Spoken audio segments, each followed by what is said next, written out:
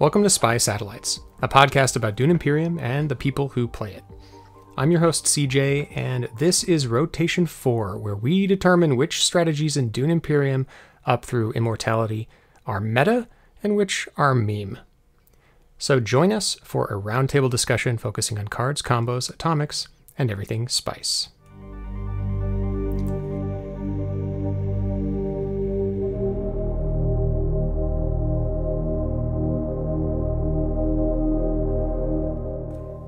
If you like what we do, please give us a like and subscribe. And if you'd like to support us, you can do so on Patreon at patreon.com slash hidden assets. Supporting us helps us continue to produce quality content and gives you access to some pretty awesome perks, including voting for the upcoming podcast topic.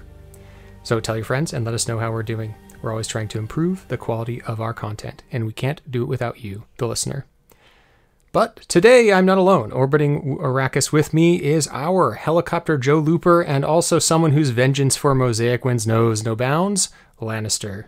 Hey, How is it going? that's going all right. Looking to get my revenge again, but uh, looks like the last one was me, right? So Yeah, you won the last one. Yeah. just got four or five more to go to even the score. Oh god, I'm so far behind. and also with me today, as are also with us today, is our community noob stomper and fellow YouTube content creator, Cheesable. Hey, hi CJ. Thanks for having me on the podcast. I'm glad to be here. and uh, for everyone who's listening, you can search for Cheesable on YouTube um, and find his awesome stuff. If you're watching um, on YouTube, you will find a link below to his content. Some of the uh, latest uh, Golden Path International games have been played by Cheesable or, or been cast by Cheesable, and we were very grateful to have you do that, sir. Thank you so much. No problem. Always glad to contribute.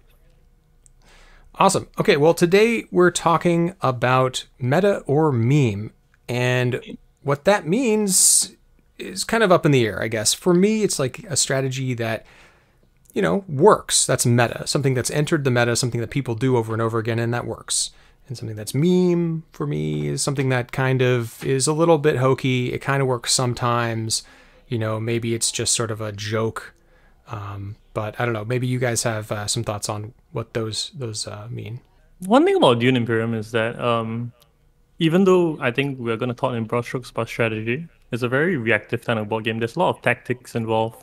So uh, we'll talk about them in, broad, in broad strokes, but um, a lot of it I still think is very tactical. Um, yeah. Yeah, yeah. And just just so like everyone knows, I, I've been using strategy generally. I do mean tactics and strategy kind of combined together. It's hard to separate those in Dune Imperium sometimes. Like you, it's really hard to go into the game with a set strategy. You kind of do have to pivot, right? It doesn't work that way. Yep. Yeah, I, I think the, the first two turns you can kind of have, have an idea of what you want to do, but once the first player plays the action, it's like okay, everything goes out the window. Yeah, definitely. Yep. And I, I think that the what CJ said makes a lot of sense. The fluidity is uh, something that's required. You you have a strategy in mind, but once that strategy gets blocked, you have to have a pivot. So a secondary uh, source of whatever you're trying to achieve. So um, your strategy might be sound, but it may become a meme later on because it's easily blocked or predictable. So got to keep those in mind as well. Yep. Absolutely. All right, so we started off. I'll I'll go first, and then we'll go around the table. This is kind of how I envision it. We'll just talk about strategy. I'll, I'll introduce one, then you'll introduce one, and so on. And we'll just say whether you think it's a it's meme or whether you think it's actually meta.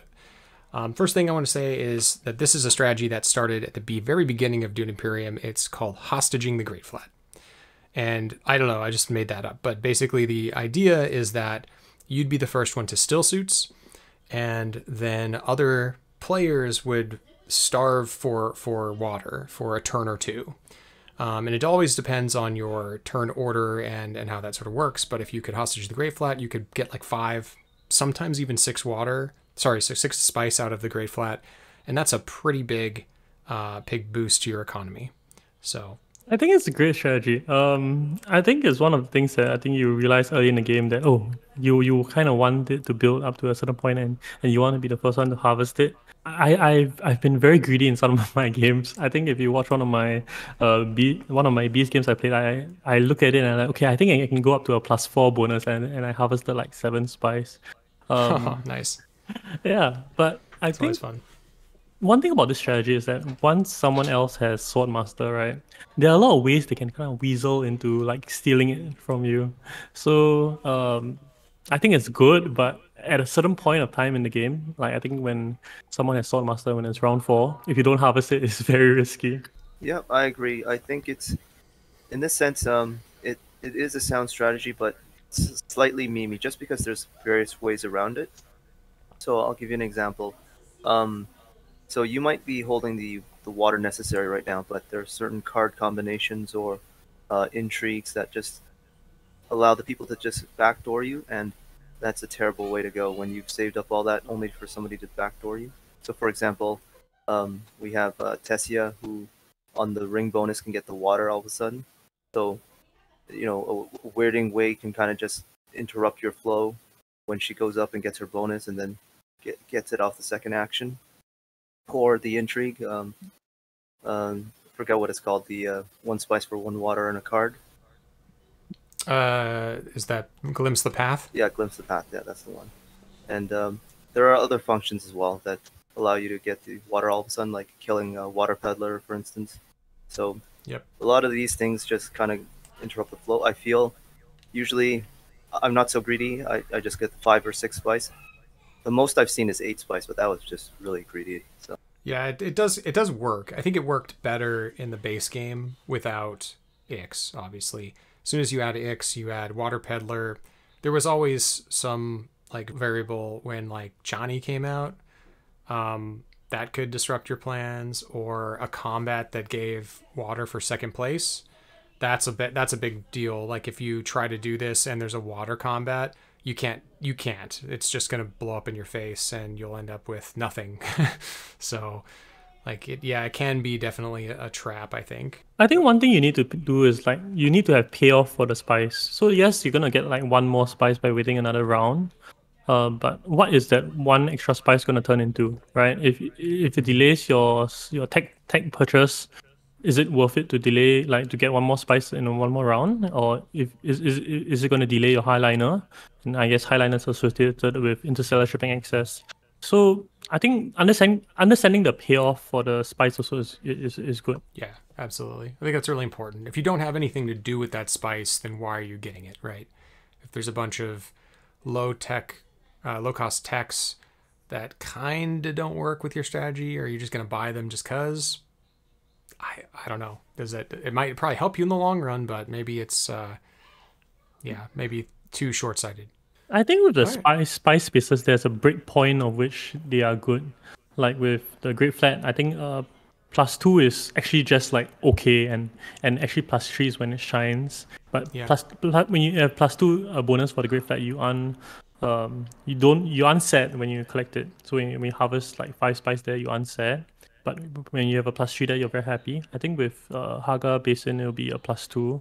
And with Imperial Basin, actually, it's a plus one. Actually, that's my current weights on, on the, the various bases for Immortality. Yeah, that makes a lot of sense with the plus one, just because of the water cost has to balance out, right? And the experimentation that you can play for it. Absolutely, yeah. I'm actually a little bit lower on that. Um, I'm okay with just the plus two on the Great Flat mainly because the, the buy spice I usually acquire uh, something like Shuttle Fleet at Tech Negotiation at minus one, or I go Conspire. So this is more along the lines of um, combat-based uh, strategy where you're trying to make up for lost ground with techs or getting the Solari for Conspire. So I'm a little less greedy on that. And honestly, as as an individual who regularly only uses two actions, I can't afford to have somebody backdoor me all of a sudden. So that opportunity loss would be huge for me. Well, the the five spice still gets you a six cost tech if you tech negotiate, right? Yeah, so yeah. that's still good. Like basically, if you get the extra spice, the sixth spice, and I've I've always thought that this was strange about Dune Imperium. Um, in the base game, there were only maybe there's just Leto's Bring and maybe one other thing that let you spend one spice. Um, or I guess you could do you could sell the spice for Solari at you could sell three of it is an odd number, but most of the the good spaces, the faction spaces, and in fact all the faction spaces require at least two spice, right? Um, to use. So like two spice for Bene Gesserit, um, four spice for Emperor, six spice for high, Highliner, right? Um, so the odd number is kind of strange. It's almost like you don't have a spice sometimes, but it's it's fixed a little bit with Ix and Immortality. Um, there's more stuff to spend your spice on. The tech negotiation space really does kind of cut down on that odd number problem. Um, so yeah, I don't know. I think I definitely think that five is a good number for for the the Great Flat, but definitely, you know, more more better. More is better usually. All right, uh, Cheesable, why don't you select the next strategy or tactic that you want to talk about? Well, um, even though I think this is one of Lenny's favorite, I think the, the one thing I want to talk about today is artillery. I think artillery leads for a lot of fun strategies. Like artillery is a card that I don't think improves my win rate by a lot, but every time I play an artillery strategy, I am very happy. Um, there are two main ways of playing uh, artillery deck. So one is um, is you kind of cull your deck. So you play something like Ecaz and you kind of pick up um, cards with swords and you kind of cull away anything that doesn't have a sword. And um, generally, things that are good for you are things that give you draw you more cards. So like water, spice. Um, yes, you can go to uh, selective breeding or research station and just draw more cards. And you don't need a lot of troops, but your one troop can turn into like 16 strength very easily. Um, yeah. So that's I mean that's one way of playing it. You play in Ecaz, or one way is just you just buy bad cards. when I say bad cards, I mean like conventionally bad cards, which are like cost cards that cost like one to three. Anything that has a sword on it, you just purchase, and then you you have this suddenly have this very thick deck. You have like a 20, 20 plus card deck that just has a bunch of swords in it, and um and, and, every turn is you just see what you have and you just kind of play it out and you reveal for uh, plus 12 combat strength. Yeah, so um, just to kind of expand on that, um, as Cheesable relates, there are two different uh, styles of, uh, of artillery usage. Um, I absolutely think it's a legit strategy. I, I use it a lot. I think artillery Ecaz is something that uh, I go for almost 100% of the time. Um, secondary fallback to that is usually Ariana. So the two schools have a different methodology to them. Ecaz provides you with consistency and effectiveness, but Ariana gives you that variability that confuses opponents at times. So the, the main weakness in artillery builds are you become predictable in how much swords you can produce every round because your deck is so small, you're pretty much generating 18 swords. So people know, okay, I need at least 20 swords to beat you out. And, you know, they got to count for your intrigues as well. But you know you're more predictable in that sense. But for someone like Ariana, where you know your sword count can be anywhere from five to eighteen, it's it's just really difficult to deal with that. And spamming out research station, uh, you also uh, have different variants in that if people kind of step in your way on the final rounds, as most people do, because they're trying to buy Spice with slow, that can be a bit of a, a problem for her. So, uh, in my view, um, Ariana's is a little bit more Mimi, but um, Ecaz for sure is a legit strategy on that end. Yeah, it's interesting. I know that, I mean, Ecaz is very, very strong in Immortality, just the ability to make your deck so super consistent. And because the power level of cards has gone so so high through the roof, it makes a lot of sense that you can create a consistent combat deck with um, artillery and Ecaz. Um, I, I haven't seen it with Ariana, but maybe I guess I haven't seen you do it. Um, but I, I believe it because she just has so much quick access to research station. At the same time, she's you know going up the um, experimentation track and getting extra bonuses, and then eventually drawing extra cards. It seems pretty strong. So yeah, I can see it. Actually, just a kind of a cheap plug-in. Um, we were playing um, Immortality at uh, in the Toronto meetup, and I used that uh, same build for Ariana just to kind of meme on them with the research station and daggers up. And uh, I think there was four combats in a row where I managed to cycle back into um, Helicopter Joe, and each time it was just four extra swords that we were dealing with, and uh, another troop that they uh, didn't account for that jump, jumped in. So it was it was very consistent on that level. So if you know how to manipulate your deck the way uh, Link does, a great Paul player, um, you can kind of bring that consistency uh, closer to yourself. But yeah, for sure. Ecaz is much easier to build around, I'd say.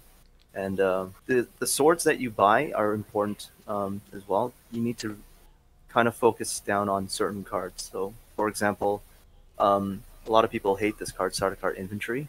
It provides no faction access and only provides two swords. Well, with the artillery, it's three swords, so it's almost as if you're holding a master tactician in your hand. So it's crazy, yeah. Yeah, just having two of those in your in your deck is two master tacticians at all times, and um, obviously Fedaykin commandos because that's four swords. It's an ambush in your hand, as long as you've got another uh, uh, Fremen card as well. So uh, another the the most important one I feel is the uh, the Jesuit sister. Um, she provides you the Bene Gesserit access and gives you two swords and uh, with the artillery, it's three swords. So uh, a lot of times you're trying to hit places like selective breeding with that card, or uh, falling back on that, you can use that for, for swords instead of persuasion. So uh, she she is pretty much one of my core uh, cards that I need for that particular build. So for sure, I think it's a legit strategy. I think the strategy needs some support. So the the issue I, I have with it is that um, you kind of need a, a means to to draw more cards. I mean, that's that how that's how it fuels your artillery. So actually, one of the, the cards which I really like in this deck is Duncan Idaho. So Duncan Idaho is a card which I generally don't like, but in this particular deck, it is crazy good. Like getting a water on reveal, you know, it just fuels half a research station. Um, other other things that are good, I guess, techs like uh, wind traps. You know, wind traps is, is great for this strategy. There are a lot of combats you'll pick up for cheap, and having that extra water to go to research station means that you will win another combat. And if you happen to pick up Imperial Bashar, then all's great in the world. yeah, that's actually the dream, right? Is to get both of those together, artillery and, and Bashar. Yeah. Um, so I have I have from Black Shadow, who is currently transiting um, across the United States. He uh, has sent me a little write up about this exact strategy, and he calls it artillery Paul. And since we've already talked about Lynx Paul a little bit, um, maybe this isn't much of a stretch, but I want to read what he wrote to me wrote to me, and then we can all talk about it. Okay. So it says, I have had a couple games where the in third position I've taken Paul with the intentions of, to take artillery immediately, assuming first and second go some combo of fold space smuggling and hardy warriors. This coupled with a lot of cheap sword cards can make life really uncomfortable for others in combat. The great t- uh, thing for Paul is that by drawing more cards with ring and a couple trips to selective breeding, you're indirectly adding to your combat strength and allows loads of power with just a handful of troops. Even if Signet, even just Signet Ring to Mentat or Arakeen and uh, deck cycling makes you hard to predict, and any battle calculations very difficult for others, which means you can roll over the mid game f- fights with deterrence and overwhelm in the tier 3s. By being third, it means you get first crack at Highliner in round 7 to see to try and see the game out. With loads of cards on reveal, you can still get a higher value stuff too, like Worm Riders Bashar. An early Shai-Hulud with, with this uh, was nasty and means you can get stuff like Sardaukar Infantry and even Scout and save some extra troops here and there. This is vital, as you do need a couple troops in your garrison as much as possible to give flex and, and to deter, to deter others. In one of the matches, I had three troops in back to back conflicts. One round, I had 9 strength with reveal, the other 20. It can make you nearly impossible to fight against without overcommitting a lot, which either leads to cheap mid game wins or your opponent exhausting themselves and you cash in for tier 3 combats. You still have some flex to visit faction spaces and can realistically challenge both Fremen and Bene alliances, too, so points aren't being given up. Still suits his multi purpose to shift a larger garrison, and the water allows both hardy warriors for more troops or research station for more swords. A well timed research station can even secure a spice must flow on the side. It's also a lot of fun and allows for creativity, brinksmanship, and you're always involved in with what's going on. You do have to fully commit to the strategy, but some of the best Paul games have been doing this. Thoughts? I think that it's actually uh, pretty legitimate. Um, yeah. As I mentioned before, uh, with the card draw uh, edition, you have a lot a lot of wild variants, and that wild variance uh, is something that can really mess people up, as uh, I mentioned prior. So it's definitely legitimate in my opinion. Um, it's actually my third option for the artillery build, so that's funny that uh, was mentioned on that. Um, so Ecaz, then uh, Ariana. Ariana, then Paul. Okay. oh, yeah. With no no Ilban uh, combat. Uh, Ilban, just because in uh, I guess in Ix it's a lot more um, contested, but in Emo, um, maybe not as much. So that's my one gripe with uh, Ilban, just because his his extra draw gets blocked a lot. Like when I was playing against the likes of say Drezo, oh man, I just kept on getting blocked and blocked and blocked, and I was just getting uh, an extra draw here or there, but it was costing me big time. So. Interesting. Um, yeah. for, for me personally, from my own experience, it's uh, a pain in the butt to deal with, and uh, I'd just rather the consistency of the ability itself rather than the passives. Maybe I'll just chime in. Um, Mhm. I one thing about okay, so everything Black Shadow said about the strategy is true. The one thing I want to disagree with is that um, I don't think the Paul pick actually is that relevant to the strategy. You can do it with any any leader. Like any leader is fine. One thing about Paul is that um, you play your ring like hopefully round one or round two, or maybe round one. Like, hopefully round one you draw it right, and then you have um, it, it, it becomes a very big uh, persuasion round in generally because you can kind of see what the top card is. You can kind of plan for your for your for your for your persuasion by that round. And actually, um, when you're planning for Paul, you kind of want to have that one big card, right? You're you're trying to get one good card and you're cycling it into your first rotation. As such, it's not really it doesn't really hinge on artillery. Like how many times you play a ring throughout the game actually is not it's not very high. Like um Right. Right. yeah, once you make that big purchase, the card that you want to play is this this this big card that you bought. Um and so actually when it comes to drawing cards and to fuel an artillery strategy, you aren't really playing your ring a lot. I mean we can compare it to like the Bene Gesserit initiate. Like how, when you buy it, how many times are you actually playing it? And I think when I play a lot of games, that card is often just sitting in my hand. So do you think that it, the prescience ability is not very useful then for Paul in this situation? Seems kind of like it would actually help out a lot. I mean, but it's still like gambling, right? You you might have something on top of your deck that helps, or you might have garbage, and so what's the point, right? I think on average, you just want to draw like a lot of cards. Like it doesn't matter what cards, you just want to have a lot of swords in your deck, and you just want to draw all of them. So Right. yeah, so I, I, I'm not sure if Paul's the best leader for it, but Interesting. I, Yeah. maybe maybe Shadow has more plays on it than I do. So from my perspective, uh, the reason why it's like Ariana and uh, Paul make a great addition for this is um, the extra card draw makes a big difference in how much you can buy early on. So the strategy hinges on you making these type of purchases in the first two three rounds, and you you can only do so on that level. You can't afford yourself to keep building post uh, turn four, uh, round four. I mean um, because you don't have that type of time. You're playing catch up because you're hitting non-faction based spots and you're buying non-faction based cards. So um, it's important to have that high persuasion, and on that level, those two characters do it better than uh, Ecaz in general, just because of the extra card draw that they have.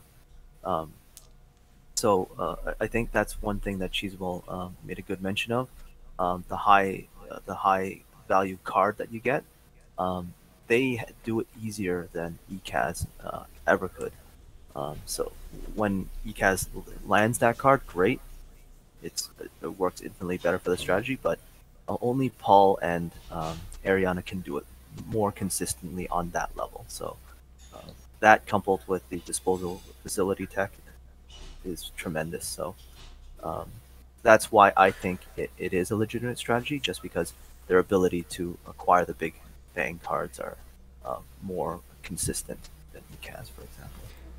Th- that is super interesting and something you mentioned here i want to kind of touch on and something that cheesable does in his strategy guide so go check those out online on uh, his channel. But he always mentions what tech tiles favor those leaders and those strategies.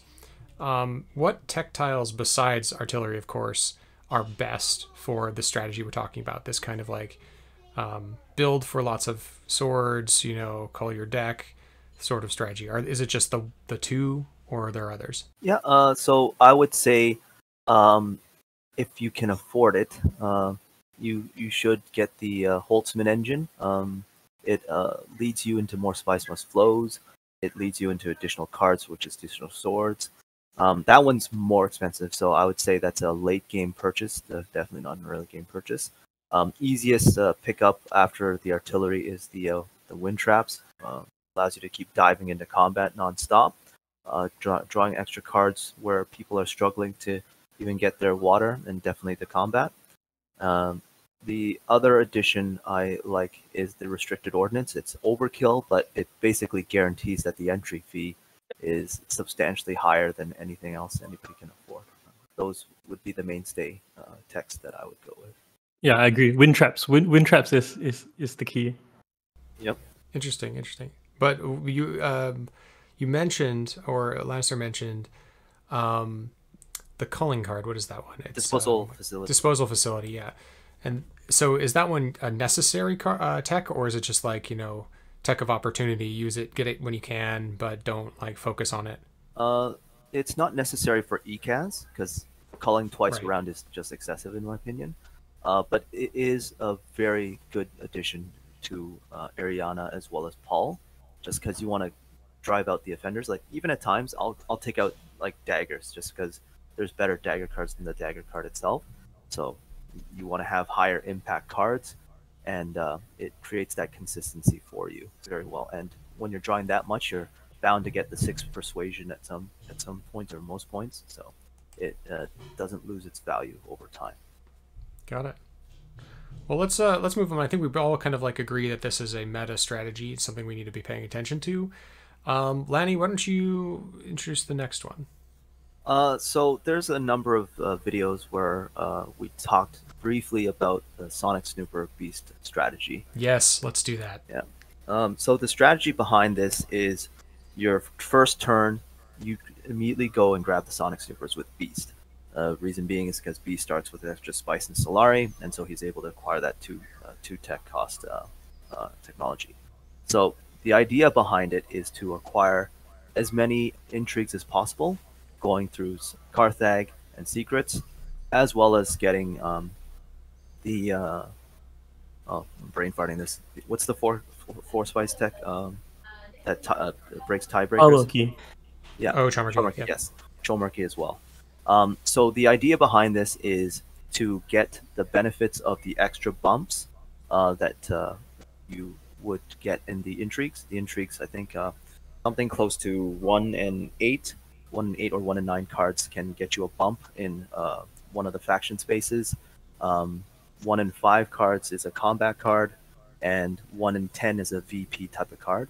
So you're you're gambling, but at the same time, the Sonic Snoopers allows you to uh, cycle out all the ones that are trash for yourself. now, what people will tell me that is, oh, it's it's too much of a Russian roulette here. But when you keep hitting Carthag and you keep hitting secrets, it creates that fear as well. So when you go into combat and you dish out two troops, the other person has to consider how many combat intrigues you have in your hand. And most of the times, if you're uh, pushing into combat, you can't afford to be second place, or at least most times you can't afford to be second place. You're fully committing, you're gonna have to spend those resources. So let's say you did you did know that I had those combat cards, two ambushes in my hand. You're gonna have to push in all those extra troops just to w- win that battle, and I still get to keep those cards because I don't have to spend them. So Mhm. I can use that to basically hostage you guys into fighting very very expensive battles, or I can just win the day at the key moments uh, that it happens. So um, at certain points, I think the cutoff is you trade in six six intrigues for uh, six intrigues if it really gets that bad. Um, the idea is to get rid of most of the VP cards if you got them too early. So um, I know a lot of people are gonna bash me for this, but I toss, I toss out corner market and plans like no tomorrow. Like if those are the first two cards I see with Sonic Snoopers and Beast, I usually toss them out because they're not going to be happening. I'm trying to end the game by uh, anywhere from turn six, turn seven, and I'm not going to meet those conditions anytime soon. So that's the idea behind the strategy. Have you seen this strategy, Cheesable? I, I I mean I've seen um there was a game where Sneaker Dead, Dead was playing it I think uh in the, in, the in the tournament so it, it came up um I'm not so sure whether it was like um he, he had it in mind. Like it was kind of like um attack is there, I might as well buy it. Um and Lenny talks about it and he has I think he has boasted about a turn five win with this. Um Yeah. when I think about it like you know, I try to analyze it, like think about like cost benefits, and you know, like it's just, I don't think, like I don't think it's a very reliable strategy. I think that there are definitely times you can high roll to a win this way, um, but I, I mean, I, I, I lean more towards the, the, the, the meme side of this strategy. The, the reasoning is that let's let's say if it wasn't Sonic Snooper, so we always replace it with something else, right? So let's say if it was uh, Memocorders that grants you interstellar shipping access from a good position, or it is artillery that just gives you a bunch of swords now and then. Like, is Sonic Snoopers that much better? And when I weigh the two, I don't think that Sonic Snoopers uh, really carries me to, to victory. Yeah, I I mean I played the strategy a couple times I think with you in the game Lannister and I think it did okay. But I also think that this is the strategy like obviously you have to like refine it. It's something that you hold very dear to you. So again, I'm not as good as, as executing this as you are. Um, when I thought I did okay with it, and I thought it, it felt like a second like like a second place kind of strategy. Like I could do good enough, but it generally I fall into second place. Um, definitely you can win with it for sure. Like you can totally high roll, and um, that seems really fun. And uh, but I think it's a little bit too, like I said, you, even you said it's a little Russian roulette. It's a little bit too much of like just random chance to see what you get. Um, but when it works, it's it's pretty fun. Uh, I still think it's a little bit memey though.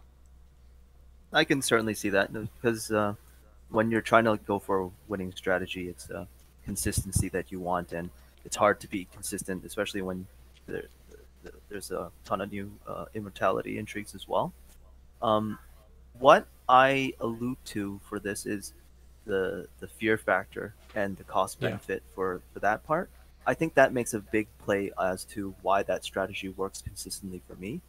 Um, so, uh, when it comes to combat, um, uh, uh, by reputation, most people know that I make combat very expensive to, to, to take. There's no one or two cube combats when I'm playing the game. Um, yeah.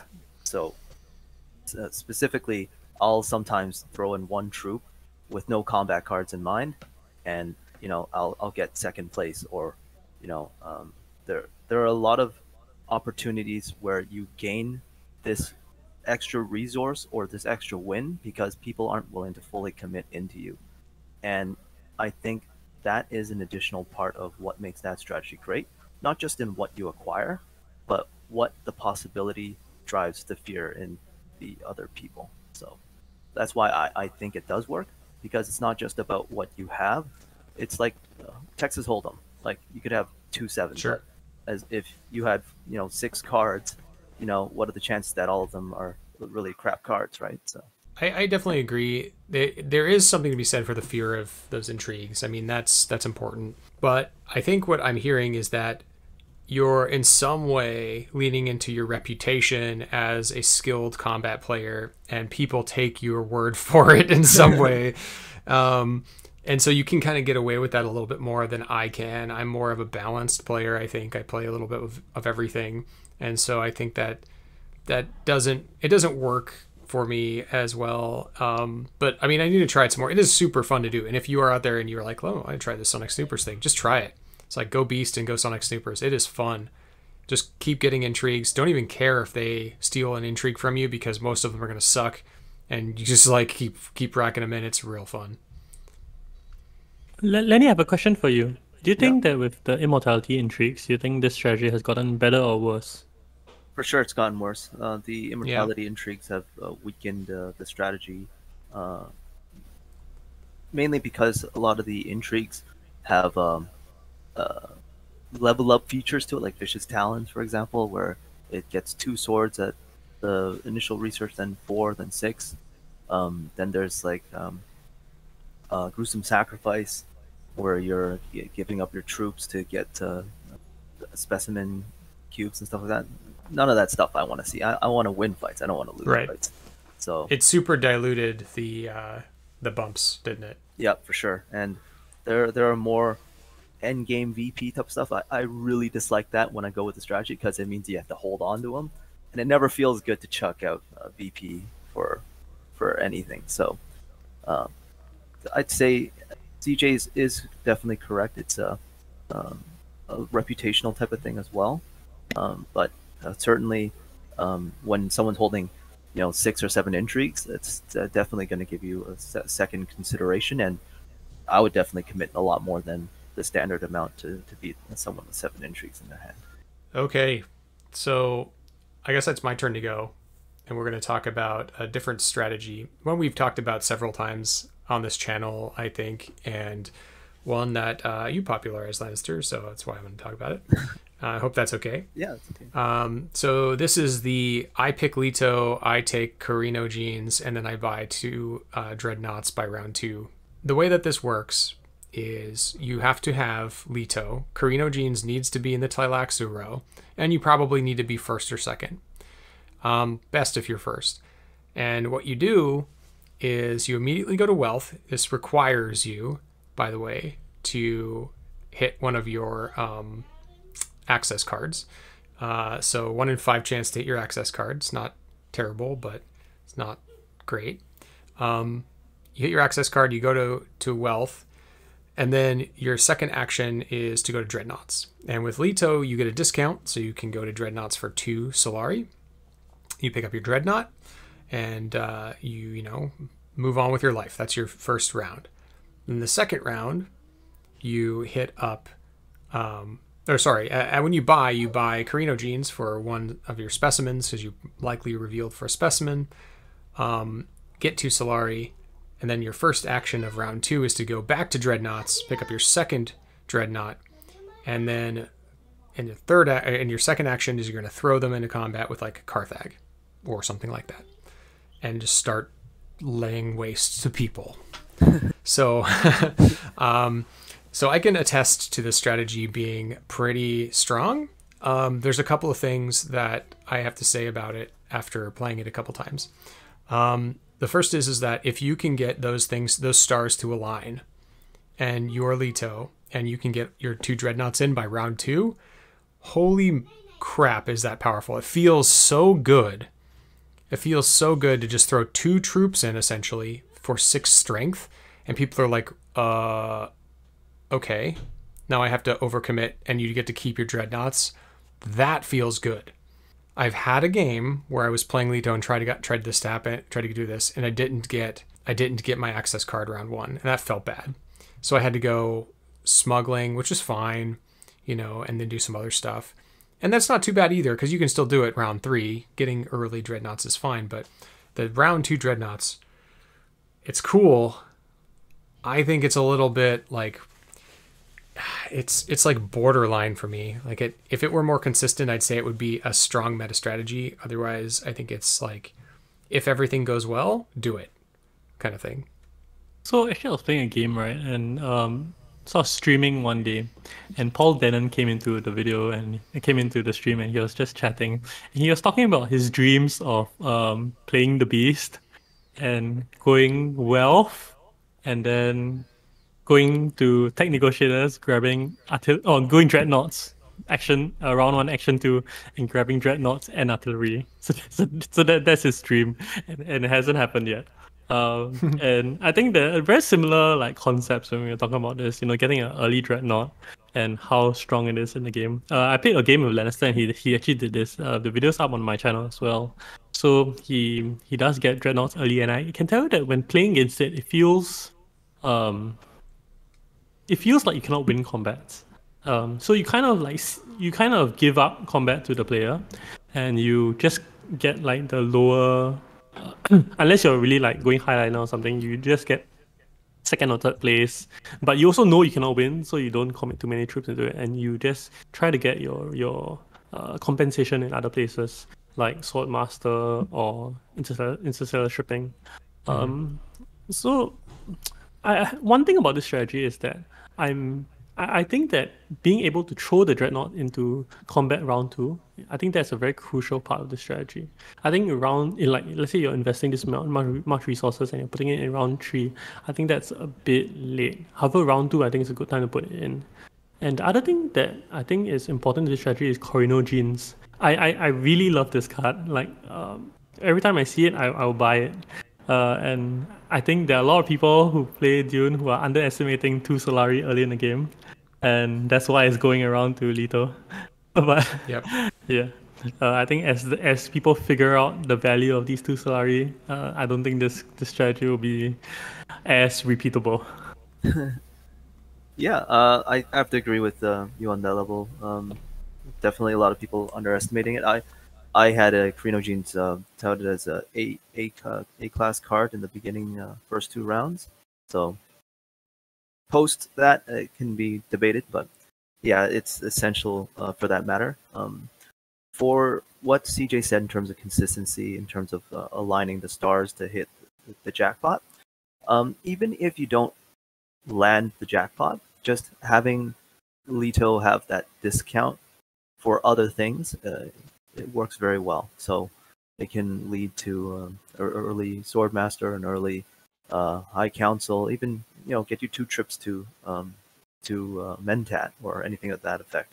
So uh, on that level, I wouldn't I wouldn't uh, I would not take Corrino Genes just because of that miss. But in terms of the uh, the Dreadnought combo, it's really powerful stuff. Um, uh, in that particular match with Cheesable, um, I dominated combat for I think the first five six rounds, and uh, I think it was only until finally that Cheesable got sick of it and he just converted all his resources over to restricted ordnance and all that other stuff that he started taking over. But prior to that, it was going really well, and uh, unfortunately, I think uh, Sneaker got fed up with it as well, and he just chucked in like everything on the final round of conflict two and it was like i think 20 something strength and it was just like oh man he's making me pay pay the whole town for this. And it just became a cakewalk for uh, a cheesable in the t- tier three conflicts because i ran out of juice at that point so um, i think that's one of the weaknesses of that build is you're you're constantly feeling compelled to take advantage of the uh, the vp combats and it kind of mistimes you at, at certain points. Like sometimes you really need to use your signet ring to get that spice or um, go to uh, other axis points, but you know you're so strong, you kind of have to feel compelled to go in when it's a VP combat. So um, th- that is one of the major weaknesses that I found with that build is just that power consumes you, uh, or at least it does for me. So. No, no, we don't have to go all in on the the dreadnought plan, right? If you just go Leto, Corrino Genes, like as you mentioned, that leaves you pretty flexible and open to even get an early swordmaster, right? I mean, you're you're that or or um, Mentat or plenty of other things. Like you're not out of the game. Uh, you just play good Leto, right? You just play a good game, um, doing your you know core stuff of building your economy, getting your resources, getting your swordmaster, and, and, and continuing on, you know, climbing tracks and that. So even if you you commit to it with like a, a turn one wealth, uh, turn one action one wealth. So even I called it a turn, a round one action one wealth, and then uh, bought Corrino Genes with the expect expectation of getting um, your dreadnought round two, and it doesn't work. Like maybe someone else gets there first, you know, and you're out of order, you're out of turn order. It's not the end of the world, right? Mm. Yep, that's definitely true. Uh, that that flexibility uh, is great. Um, that's one of the reasons why I think uh, Cheesable and I really like Corrino Genes, especially on Leto. Like that discount Solari is like much more valuable for him than anybody else, I would say.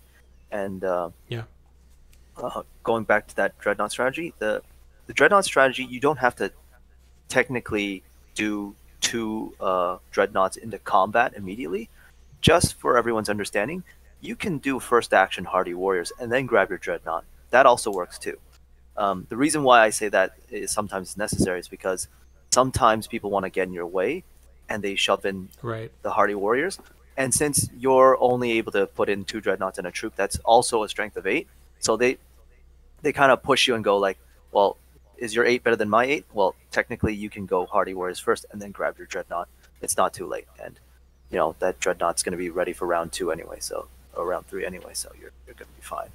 Do you think that for players who are who are going to try to pick up this strategy, that they should first start to just um, work at basics for Leto, like general pacing and tempo plays like that, going to Hardy Warriors, you know, still navigating the board. Just don't tunnel vision, right? That's what I'm hearing you say.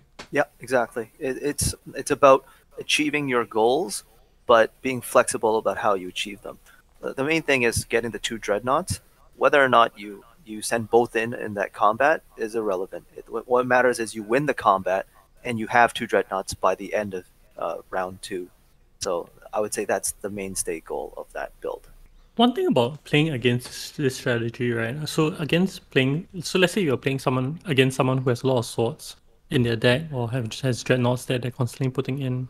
One thing is that how you should play against it, right? Is that you should just kind of limp into combat. So you should just like put in one troop and just lose the combat, but you win in terms of value. So you put in a one troop and you maybe you get third place. And if even if you don't get third place, like other people are putting in more troops than you to get third place. So so what that results in across the entire game, right, is that when le- so so back to like the game that I played with Sneaker and and Lannister, where Lannister went two dreadnoughts, right? Is that when it comes to round seven and round eight, right? Because the other players haven't been putting in a lot of troops, they kind of have like a garrison build up that they have like this one combat where they okay, I'm gonna shove here and hopefully it's enough.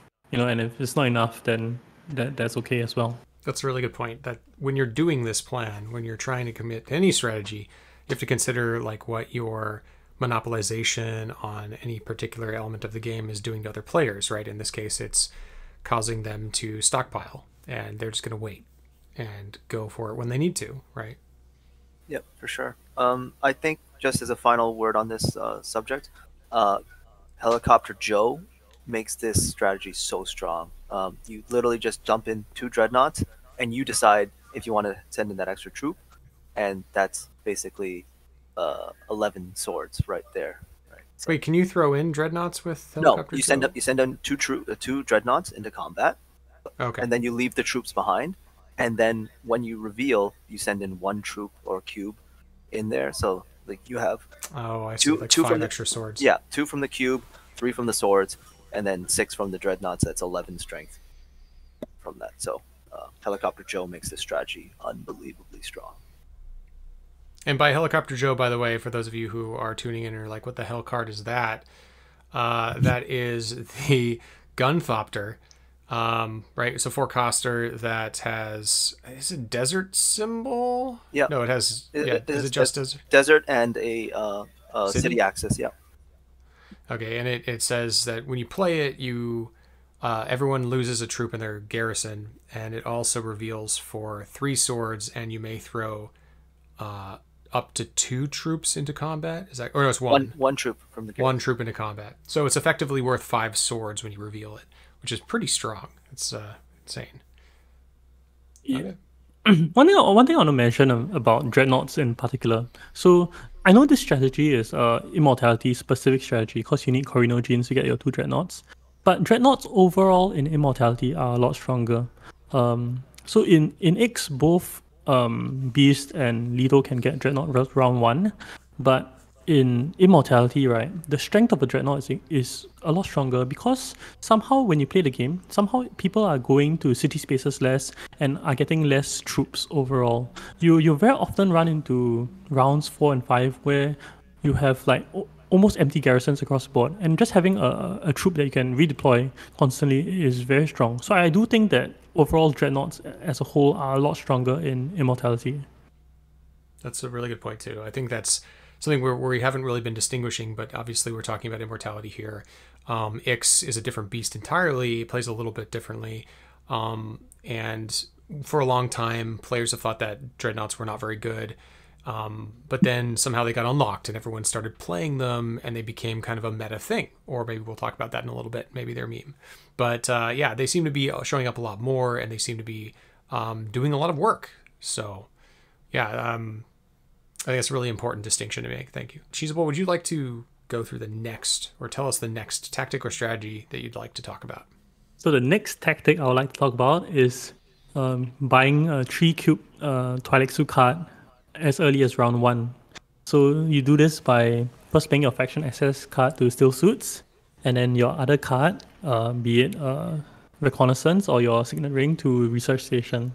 And hopefully you draw into both your experimentations and the research will grant you an additional Tleilaxu cube. And using these three cubes you're able to buy something off the off the row.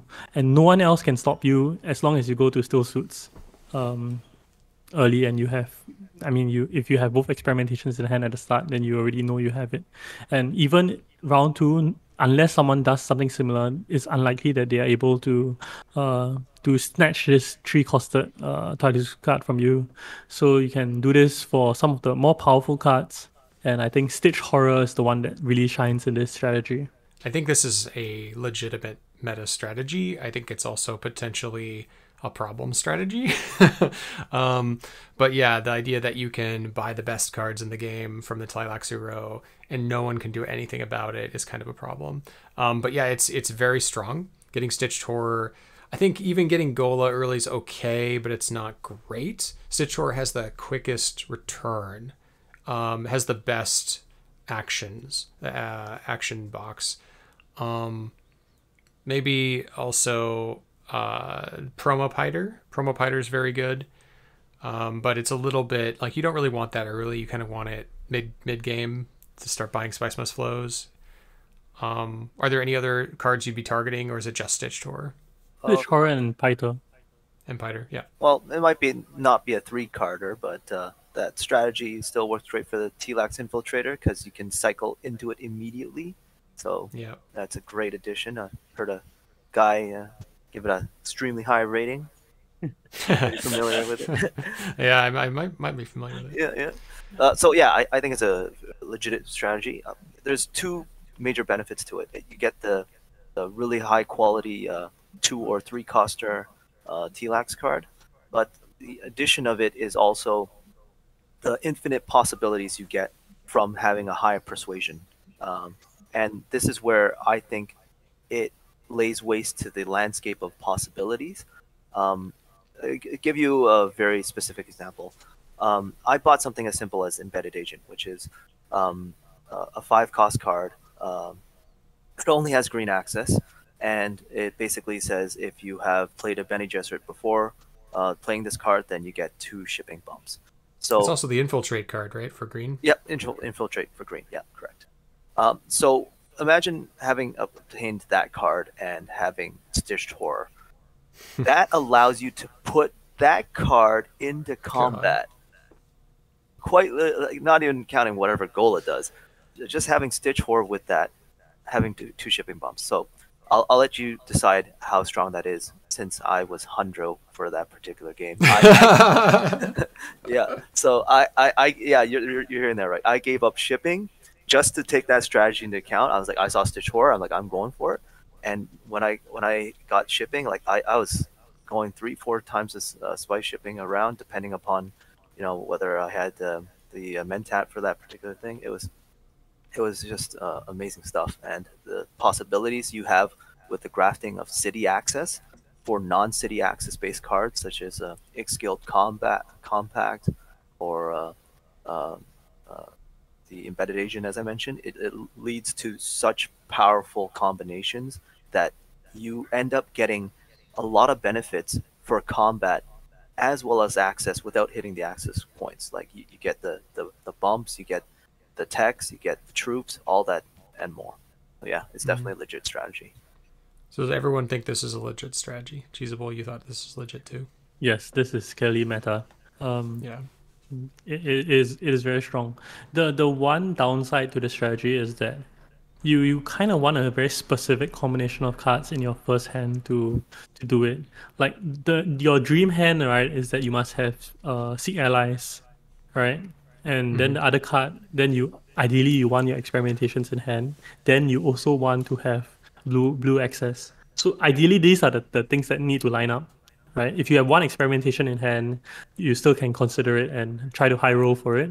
But if you have your Seek allies in your deck, um, playing your diplomacy, then going to research station and drawing your your Seek allies feels very bad. Um, and and so that's something that doesn't feel very good for me when I play this strategy. But but I think if you do grab Stitch Horror or, or Piter round one and you cycle it into your deck and you can draw it round two, it is, is amazing. I have to mention though, there's one uh, weakness to this particular um, strategy is you end up leaving uh, very integral spots open for your opponents. Um, yes. So we'll, we'll dive into that in a bit, uh, but uh, uh, there's a smuggle smuggle strategy. You, you kind of give that up, and the other thing is you're anti hostaging the spice. You're basically saying to all the other players, "Here, take all the spice in the world. I I, I have no qualms about you taking that stuff, um, unless it is a stitch horror, uh, which can acquire that water again. But yeah, you, you end up uh, giving them a lot of extra resources with that strategy. So you, you you must be cognizant that that's the payoff that you're willing to give up for whatever uh, Tleilax card you're aiming for. Well, let's let's do the next one then. Um, you mentioned it, uh, this our round two Swordmaster, and I, I know that Cheesable, you think very highly of this. Um, you have a whole video on it. Um, you go smuggle uh, round one, action one. You smuggle again, action two, action one of uh, the second round, and then you just cash out. Get the Solari, uh, go get Swordmaster, and profit and that's and then you just win the game, right? No, but tell us a little bit about that. That's that's a pretty big uh, new meta strategy. Okay, so so so whatever CJ described is correct. You just smuggle round one, you smuggle round two, and from combat or playing specific leaders, you can get the extra Solari to buy your round two sword master. So in particular in Immortality, what we have found out is that just playing more cards is good. There's a lot of uh, playing experimentations to Imperial Basin with a plus one is good. Playing it to Imperial Basin with a plus zero is not the worst as well. Like just getting a just getting a research symbol, it just furthers your game in so many ways. So so when I play it, my my win rate just started spiking. Like every time I see someone like getting early sword master, like the the likelihood that they win the game or threaten the win of the game is is really really high. So much so that it has kind of bled back into the Rise of Ix meta. So Rise of Ix meta, no one used to like smuggle smuggling used to be like average at best. But now people in Rise of Ix as well are just going up and down and, and getting Sword Master early. So one of the things that also feeds into the strategy is that there are a lot of um, Tleilaxu cards, right, that, that give you faction access. Like things like Contaminator, Face Dancer, uh, and and because you have very cheap faction access that you don't really need to work for as well, um, anytime you have an extra action and you can go to faction ex- space, that is like uh, almost half a point. So this mm-hmm. these are the various reasons of why this strategy is is very strong and and how, how why I'm very excited to see how the upcoming tournament plays out with um, with regards to uh, early swordmaster. Yep, I I agree. Um, as uh, an individual who despises the swordmaster, um, when we started talking strategy, me and Cheesable and uh, Sneaker, uh, I I started listening. I was like, all right, let's try it. And as soon as I started trying, I was like, oh my my wins are a lot easier um, win rate is always going to be variable, but you can feel the comfort in it. And the whole idea that your experimentations uh, advance you on this track that provides resources is highly beneficial. So, um, in the past, when you're playing Ix, you know, you play your Dune the Desert Planet, you get one Spice or one Solari going to smuggling. That doesn't really do much, but it's a world of a difference for um, immortality because these extra cubes, even if you're not going to be using it to buy the, the cards or to advance the beetle track, it can be used at a three to two three to two conversion rate for troops, which, uh, as Cheesable mentioned, is a is a major resource that is sorely lacking, uh, and having that conversion possibility really uh, amplifies the the usage of the, the experimentation cards. So um, even something as simple as having only one access card and two experimentations played, that's an amazing round for you. If you're able to play both your experimentations as well as the uh, as well as the uh, access card, you're you're basically golden. But the only way you can do that is um, smuggle, smuggle, which allows you the maximum opportunity to spike those uh, those resources. And uh, I have to say, even though I am very um, very adamant against the Swordmaster, it, it's becoming more transparent to me that it's uh, uh, probably the meta strategy, and I may be forced to go against my own. My own. I was going to say, like most of your strategies that you've come up with for Ix or uh, or Immortality, uh, kind of rely on you timing your Swordmaster to about round five or six, so that you can then utilize it in the last couple rounds of the game. But this is a completely different like side of um, the game, right? Like this is saying actions are better. Like playing cards are better than revealing them. Um, I would rather be playing cards, getting lots of actions, lots of different effects, than holding onto things and buying Spice Must Flow. I mean, you can still do that, you usually can, but um, yeah, I mean that's that's it's a it's a legit strategy. This is one of the things I think is most interesting about this new meta is see what happens and how people adjust to it, whether blocking or just not taking Solari to fuel um, other leaders, you know, just like going up and up and up. Um, how this sort of works. Uh, I think it's it's fascinating, but yeah, definitely meta for me. Yep, for sure. Uh, just as a small note here, um, the major difference is when I don't go Swordmaster, I'm aiming for a turn seven win, and when Cheesable goes for a Swordmaster, he's going for a turn seven win. The approach mm. is different because for me, I'm giving up the, these extra actions by taking advantage of the early uh, combats and opportunities that other people miss. The main reason the strategy is uh, better overall on Cheesable side is consistency. Uh, you know what you're getting when you're hitting those tracks and all those uh, other resources, but in, in combat, you're not able to define whether you're going to get terrible purpose or if you're going to get the um, trade monopoly for shipping in uh, a troop or something like that. It, it's just highly variable, and there's more elements in your control uh, with this side of what uh, Cheesable's uh, recommendation is on that level. So uh, that's why I think it's a uh, more consistent on that level. Does it kill the two um, agent Rhombur strategy? Um, it doesn't necessarily kill it. Uh, the the major thing is whether or not your combats uh, align for you. So, um, what what the strategy he does is he's almost guaranteed to end turn seven, turn eight.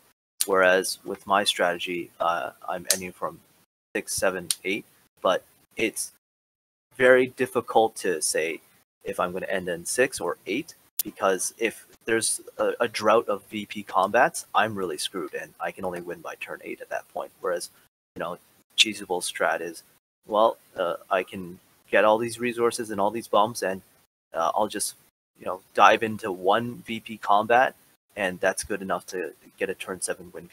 And that's one thing I, I really think that is uh, great about Cheesable and watching his videos is he's very consistently making that turn seven victory happen. Yeah, absolutely. Agreed. There's there's not much way to stop it as well. so so the, the issue with this, right, if let's say you're player one, you go to smuggle like action one, you don't get any compensation for your, your action. You block the table but you don't like you, you don't get any benefit from it whatsoever. So uh, I I'm not so sure if like let's say last if if the um, the contention was interstellar shipping and spacing friendship, right?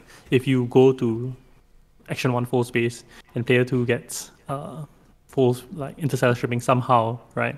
Your compensation is that you know you are one step ahead of him, like your your your in terms of player position. So the moment you get uh interstellar shipping access, you block him for the rest of the for the rest of the game. Um, so that is your mm. compensation. But with smuggling, I don't think there is um, any compensation by uh, to the player one to actively block the player two. So this this is this is one of the um, the contention points which I think about. But I, I I don't really have a counterpoint to countering this strategy as well. I just hope I'm the one who gets Swordmaster. well, all right, let's move on. Who's next? Um, Lanny, are you next or am I next? Uh, I think I was next. Go for it. Uh, so there is a strategy involving the one big combat win. Uh, this is basically uh, something that uh, I like to do a lot. It's uh, something particular to Hundro for me. Um, it might be for other people as well.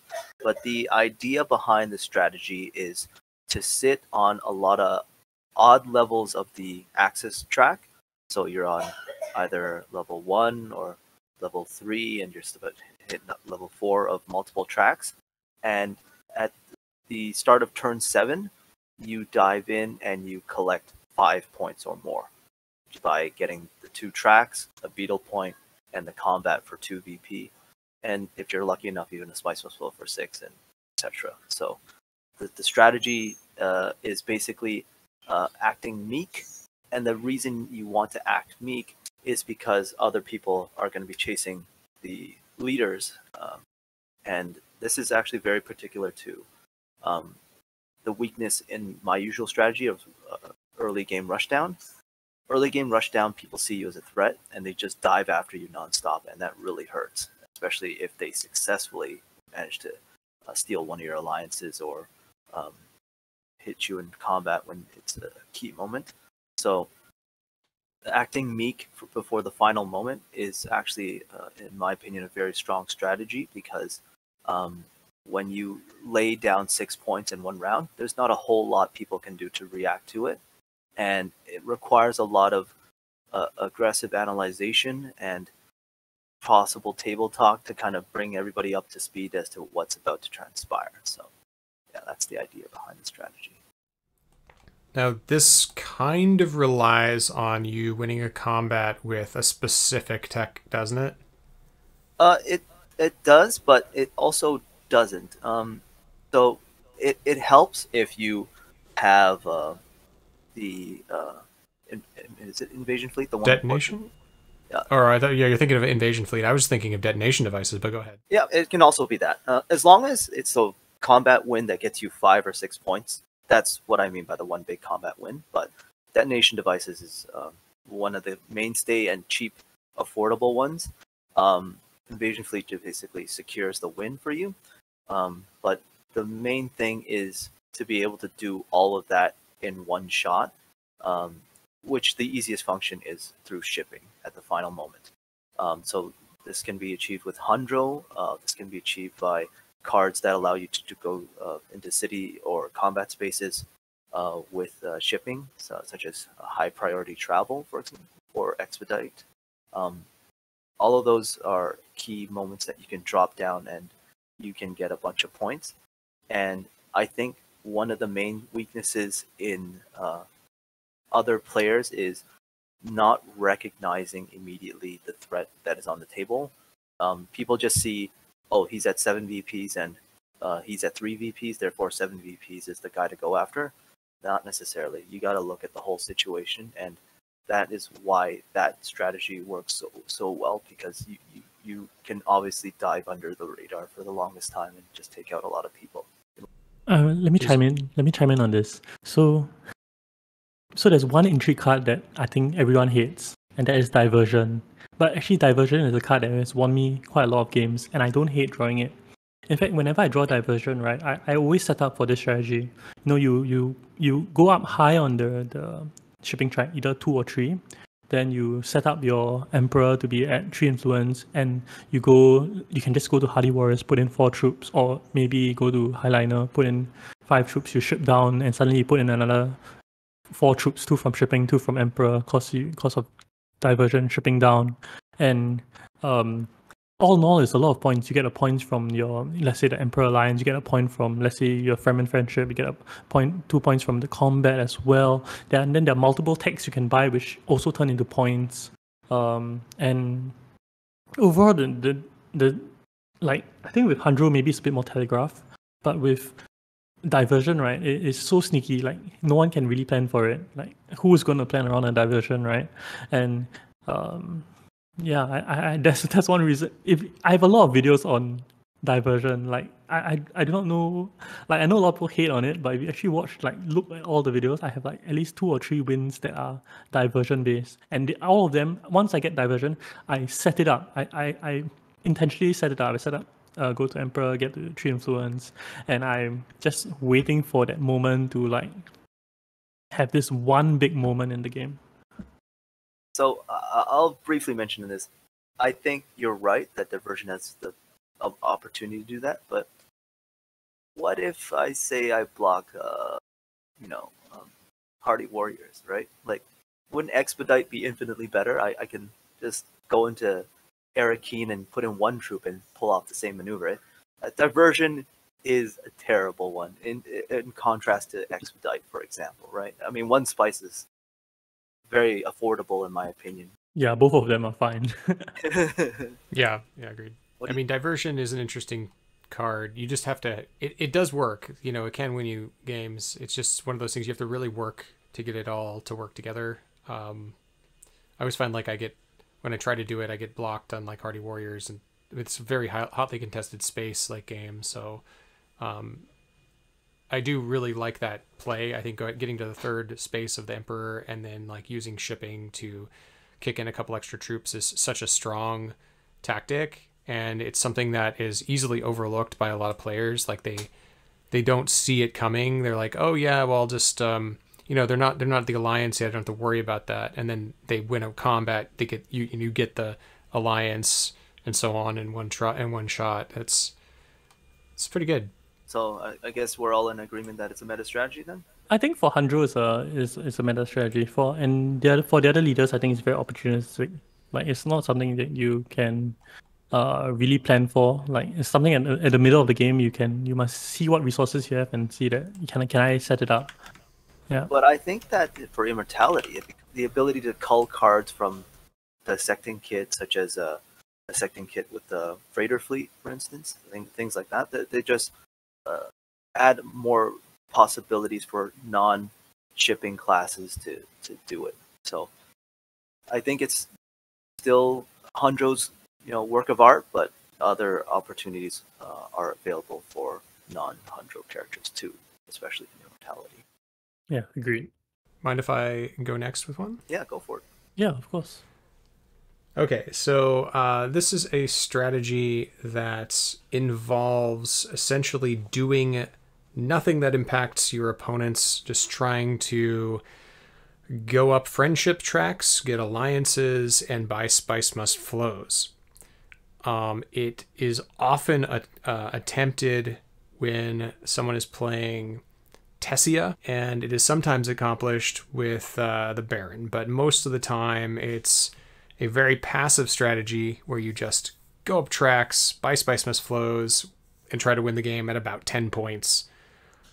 Um, so I like that you call this the solitaire strategy cheesable. I think that this is uh, a good good name for it, but I don't think Dune Imperium anymore is very. I mean, you could almost get away with doing this uh, with the base game, you could you could kind of do this with uh, Helena a little bit, and sometimes in Immortality. Sorry, sorry, in in Ix you could do this with Tessia, but I don't think it works anymore in Immortality. I think it's a very difficult strategy, and most of the time, what I found is, and I've done this sometimes because I like testing out solitaire strategies myself in most games I play just to see if they're broken, is that I'd get to ten points and then get like completely jumped by someone else who was sitting on extra points or got the last combat and I wasn't able to, you know, get quite there. I'd be do fine, but would come up a bit short. So for me, this is a, a meme strategy where you're just kind of like griefing a little bit and you're letting other people um, take combats and ship and do things that you probably would have been better off doing. Yeah, so my, my take on it is slightly different. I think at the base, this is a very fundamentally sound strategy. Like, if you're if you are set up to buy Spice Must Flows anywhere from round five onwards, so five, six, seven, right? I think um, that that constitutes like good deck building, good resource management, and like what what so what you're giving up, right? If let's say I'm giving up combat or I'm getting giving up a combat point, but when you buy a Spice Must Flow, yes, you dilute your deck a little bit, but you are still getting a point, right? So net net, both of us get a point just what resources we are putting into it is, is slightly different. And this this spice must flows is very hard for someone to kind of uh, block you or prevent you from doing it. like there are multiple spaces that you that only that this player is interested in, like the tech negotiator spot, or let's say drawing. Um, I think everyone likes to draw like at this stage of the game, but you just need kind of like one draw and like maybe tech negotiators or just one draw and a and a decent deck will get you a spice must flow. And I think that is really the the, the the heart the heart of this strategy, right? Being able to to churn out uh, spice must flows rounds five, six, seven, and um, yeah, I, I, I don't think it costs a lot to to to enable this this as well. So maybe it's my perspective from having played against people like Pidge. Um, Pidge is a very infamous Yeah. for doing Spice Must Road strategy in the uh, first tournament around. And um, for me, I feel that that type of solitaire play is highly predictable in the sense that there's only a couple of key spots they're going for. Uh, usually they're going for selective breeding or uh, mentat or tech negotiation to finish off that last bit. Um, I think it's kind of mimi just because uh, there were various circumstances where people were telling me, you know, it's, it's a strategy that can't really be stopped. And I, multiple times, I'm like, okay, let's see if, if I felt like stopping you, if I can stop it, it was very stoppable. Those three locations, highly predictable. You can get in front of it. You can really mess up someone's turn just by doing that. The only difference is whether or not you want to do it. Um, for me, someone who's more combat oriented, I don't like to get in your way. And It's great that you're not getting in my way in the process of you doing what you're doing. So you do your solitaire, and I'll, I'll go do my conflict. And I find that that strategy um, is completely hinged on the fact that you're basically accelerating one player uh, behind you. So if I'm behind you, I, I profit big time. And it's a great strategy if you're trying to come in second consistently, but you're accelerating the guy right behind you by ignoring all the other spaces. And to me, I think that's a, a, a very a bad look for that strategy just based off of that type of accelerant. that that's kind of how I feel too. Is like if you are, I guess this is sort of a tunnel vision strategy. You you have to just go for those friendships. You don't really care which ones they are. Um, you're picking up whatever you can to draw cards. Obviously, drawing cards is the big the big kicker here. You need to have like some Bene Gesserit initiates, um, a Piter, you know, uh, the new Piter rather, something that extra that gives you the extra cards for the Spice Must flows. Spice Must flows are I found a bit harder to get in Immortality um, because the better cards that you're actually getting um, from the Immortality or the uh, Tleilaxu deck, they don't have a lot of persuasion. Um, and unless you get one of the cards that lets you draw a lot of cards, like the Promo Piter um, or even the Tleilaxu Infiltrator, then it's it's a little harder to do that. Um, it's still possible, and there's nothing wrong with you can still buy Spice flows, of course. And I've seen like, you know, games where people have gotten five, six Spice flows. So it's obviously not out of the realm of um, reality, but it's one of those things where usually those players also um, leaned really heavily into spy satellites, um, and those things those things have always been around. Like you, it's always been around since Ix, since um, I shouldn't say always, but since Ix, it's been around that you could, you know, kind of just buy Spice Must Flows and go up and and get free points um, and get the one like alliance. So that saves you a lot of trouble when you get spy satellites, and I think that that works better. Like maybe there should be we should be talking about like a spy satellite strategy because that is actually a thing that happens a lot, and um, I think it's a little bit more frequent than the like the actual hunting friend- friendships without it. I think that that's a little bit less common. Um, I don't know. What do you guys think about that? Do, are they the same strategy or are they different strategies? I think they are they are similar in nature. I, I don't think you would rush. So I, I so first and foremost, I think rushing spy satellites is bad. I think picking Yeah. picking out spy satellites as a, as, a, as a good timing, um, something when it's not too ex like not too expensive for you. I think that is that's good. Rushing it, like immediately depletes all your resources. You have no actions. You have nothing else in the game. You just have some points that you could very easily have gotten any, anywhere else. I'm not saying Spy Satellites is bad, but I think rushing it is bad. So mm. with, with, regards to the strategy of like buying Spice Must flows, I think in my own playstyle, like it, it, it has evolved a lot into this because there are so many situations where I cannot get interstellar shipping access. Like there's just no reasonable way for me to to get access and actually be in position to go to interstellar shipping, right? And and because there is because I don't get the troops from there, I don't get the salary from there. You know, I do need to find some other way to get points. And um, turns out drawing cards and just buying spice flows is decent compensation, and it is is one of the ways that I end up um, like being able to compete with the person who have interstellar shipping access, which is why I think a lot of my early games in late positions evolve involve like uh, Ilban, just because it's so easy to do it on Ilban. You just draw Spice Must Flow so easily because you have one more space that that kind of unlocks it for you. Um, I, so I so I don't think it's a meme strategy. I, I think it, it is legit. Like it it, you you don't really give up everything else. Like you still are looking at all the other spaces and still weighing in combats. You still want to like put one troop in or go in into one big combat, but you are constantly thinking about nine persuasion, nine persuasion. How am I getting to nine persuasion? Then everything else kind of falls in after that.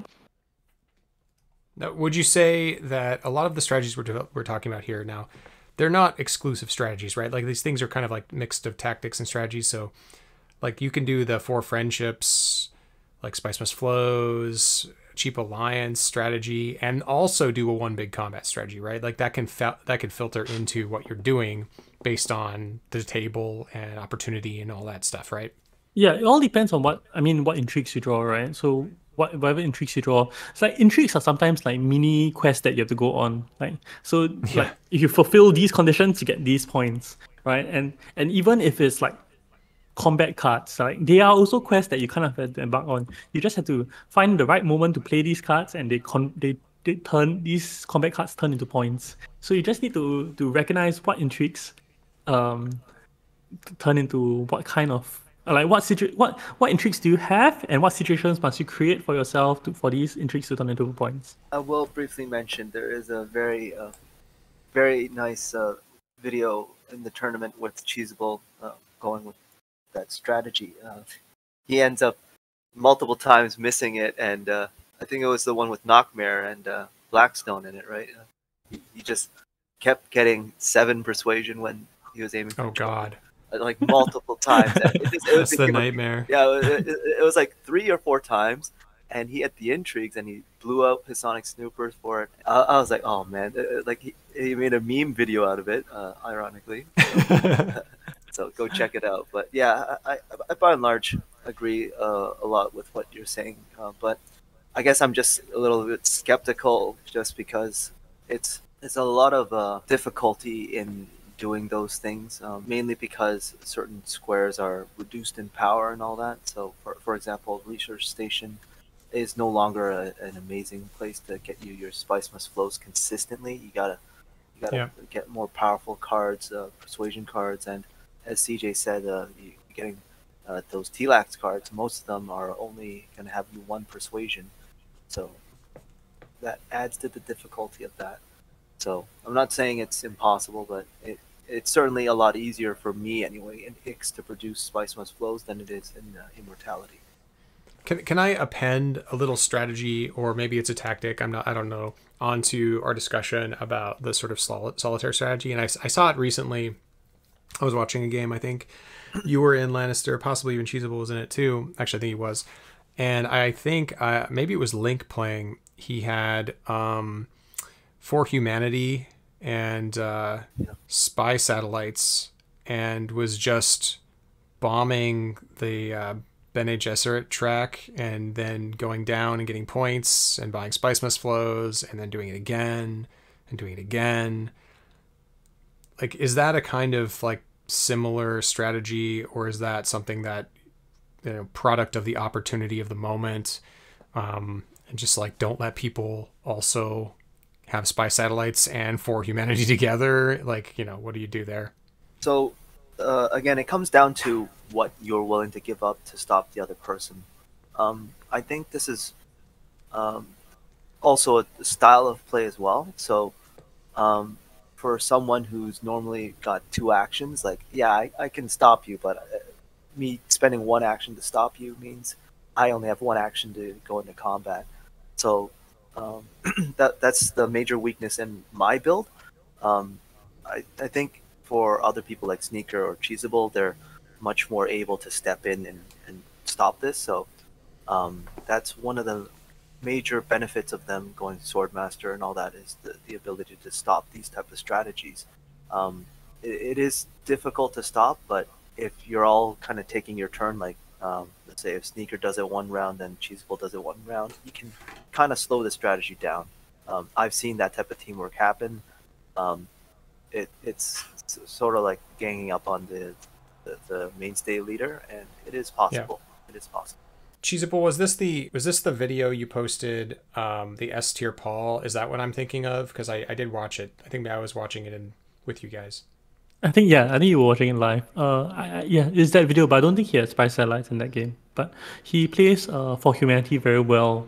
Um, so this is just a, a tangent on for humanity. So I have been trying to figure out this card for humanity, and what he does is right, he gets to the top, um, the top of the Bene Gesserit track, and he disincentivizes anyone from putting any more um, influence into Bene Gesserit.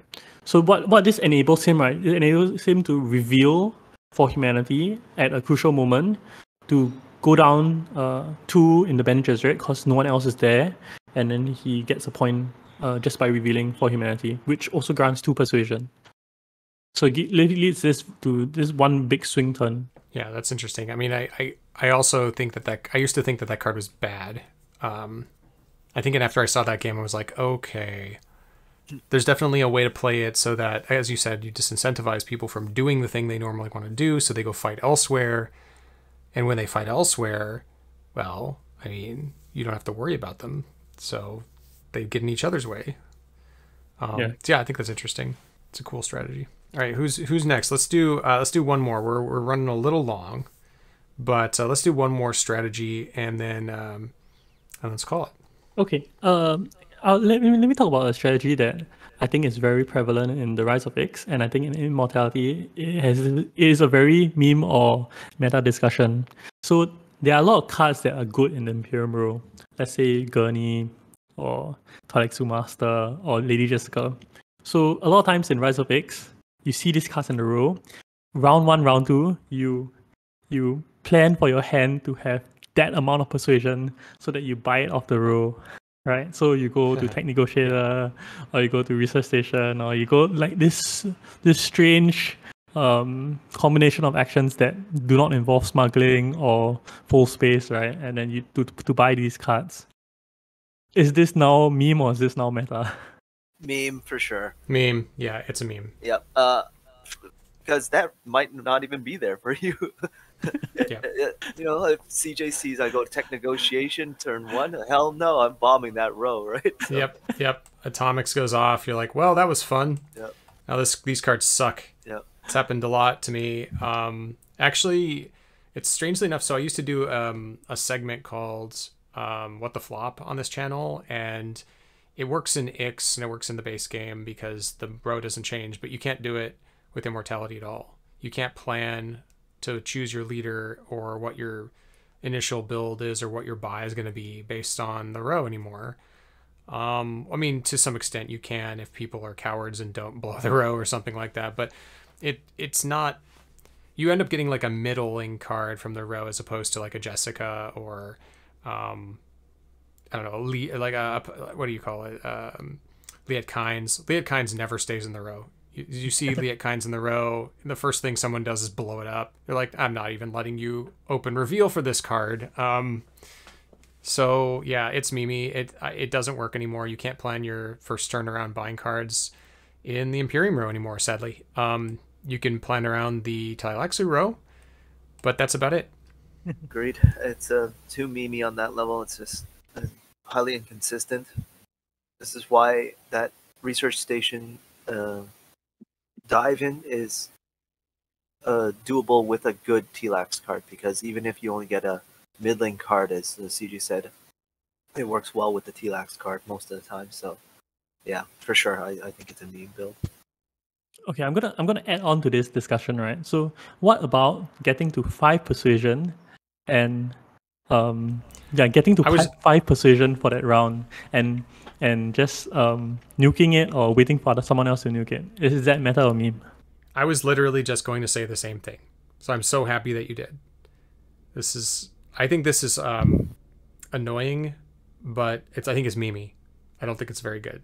I think it is half and half. Only because there's a lot of good power cards at five. If you can get to five persuasion, it's actually pretty decent.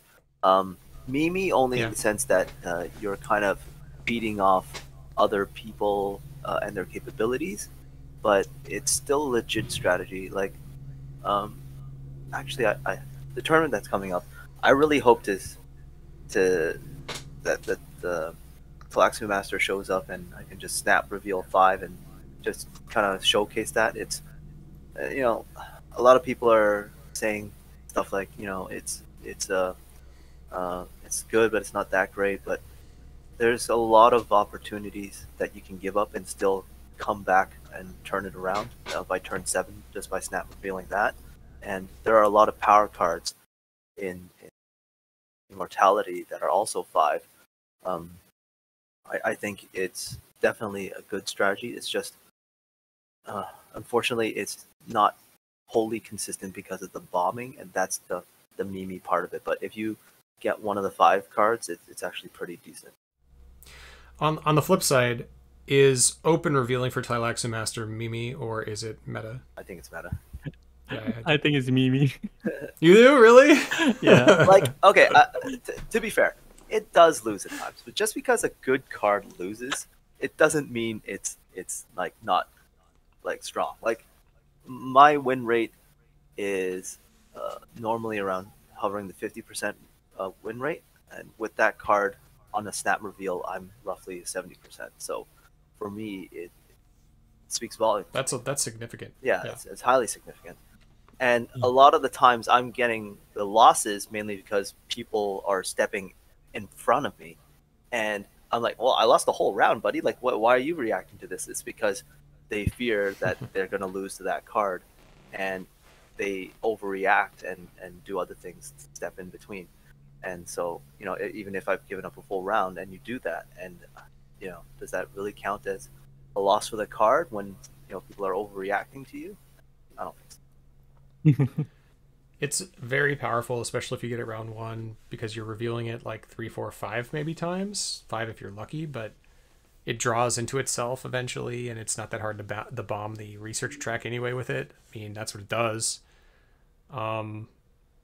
So yeah, I mean, I I'd like to, I'm interested to see with the tournament when this comes up, what happens with the person who buys it, and whether there's any kind of reaction from the community where people say like okay i think we've had enough of this card. Or maybe everyone's like totally fine with it. And i think it's going to be an interesting um an interesting uh, experiment to see.